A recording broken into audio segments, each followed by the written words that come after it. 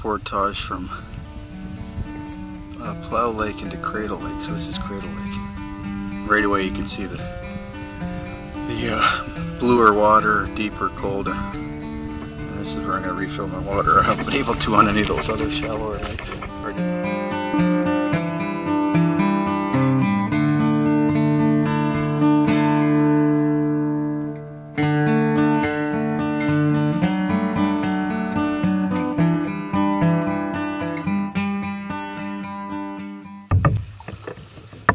Portage north out of Cradle Lake, which we're on, into Plough Lake. And this is first turquoise lake, I think, I've hit since.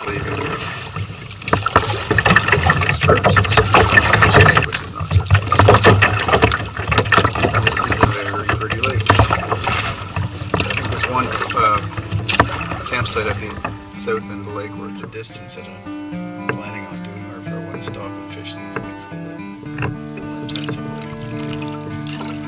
Enjoy the scenery uh, on each lake.